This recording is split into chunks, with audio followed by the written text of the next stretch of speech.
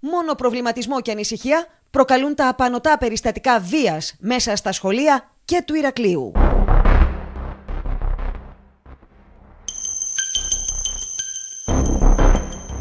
Πριν καλά-καλά κλείσει τα 13 του χρόνια, μαθητής γυμνασίου του Ηρακλείου κατηγορείται ότι επιτέθηκε με μαχαίρι σε μαθήτρια της 6η Δημοτικού έξω από το σχολείο της.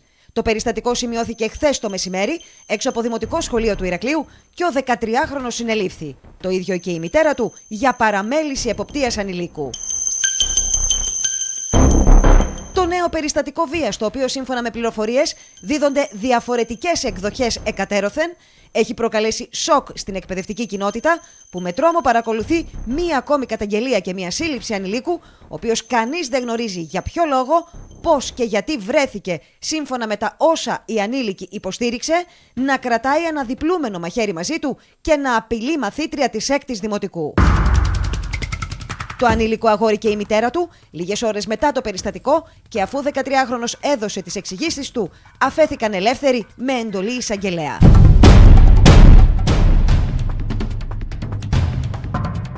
Το γύρο του διαδικτύου πριν από λίγα 24 ώρα έκανε μια υπόθεση σεξουαλικής παρενόχλησης ανήλικης μέσα σε σχολείο του Ηρακλείου. Μαθητής του Λυκείου, σύμφωνα με τα όσα προέκυψαν, κατηγορήθηκε από μαθήτρια γυμνασίου ότι της επιτέθηκε σεξουαλικά, θοπεύοντά την μέσα στις τουαλέτες του σχολείου της, που συστεγάζεται με αυτό του επίσης ανήλικου αγοριού. Το θέμα έλαβε μεγάλες διαστάσεις και απασχόλησε έντονα τη σχολική κοινότητα, ενώ μετά την ενημέρωση της διεύθυνσης των σχολείων και τον τερματισμό κατάληψης που είχε γίνει από τους μαθητές, τόσο ο γυμνασιάρχης όσο και ο λυκιάρχη μετέβησαν στον εισαγγελέα ανηλίκων, ενώ ενημερώθηκαν για την κατάσταση σύμφωνα με τις ίδιες πηγές ο πρόεδρος του Συλλόγου Γονέων και Κηδεμόνων του Λυκείου και ο διευθυντής δευτεροβάθμιας εκπαίδευσης. Είναι ανοιχτά τα μάτια της και τα αυτιά της εκπαιδευτικής κοινότητας. Τα παιδιά στο σχολείο, οι εκπαιδευτικοί όλοι τα νιώθουμε δυο φορές παιδιά μας, θα μου επιτραπεί να το πω αυτό και φροντίζουμε ώστε με ασφάλεια να έρχονται στο σχολείο από το πρωί και το ίδιο, με τον ίδιο τρόπο με την ίδια ασφάλεια να φεύγουν το μεσημέρι. Είμαστε δίπλα στα παιδιά, δίπλα στις οικογένειες για ό,τι χρειαστεί. Δυστυχώς ναι, έχουμε, παρατηρούμε περιστατικά τα οποία μας ανησυχούν. Αλλά η σχολική κοινότητα αντιδρά άμεσα.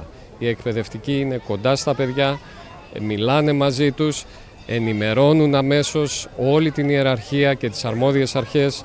Ε, εάν χρειαστεί ενημερώνεται ο εισαγγελέας, παρεμβαίνει άμεσα. Τα δύο νέα περιστατικά που προκαλούν έντονη ανησυχία αποτυπώνουν μια βιαιότητα που είναι πολύ πιο έντονη μετά τα δύο χρόνια της πανδημίας, εξήγησαν οι διευθυντές εκπαίδευσης, που διευκρίνησαν ότι οι εκπαιδευτικοί προσπαθούν να είναι κοντά στα παιδιά και να χειρίζονται με τον ενδεδειγμένο τρόπο όσα περιστατικά πέφτουν στην αντίληψή τους. Το σχολείο από τη μεριά του πάντα επικοινωνεί με την οικογένεια και πάντα κρατάει διάβλους ανοιχτούς.